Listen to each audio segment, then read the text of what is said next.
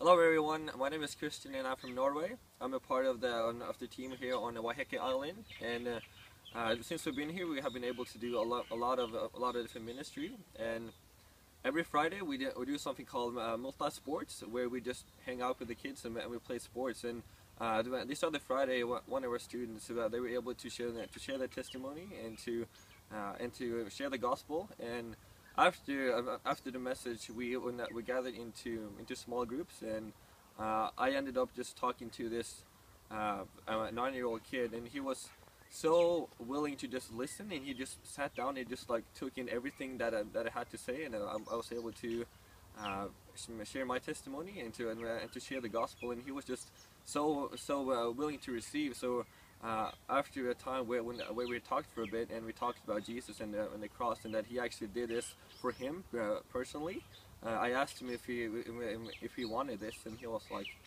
yeah, I want this. And I was like, oh, Lord Jesus, come on.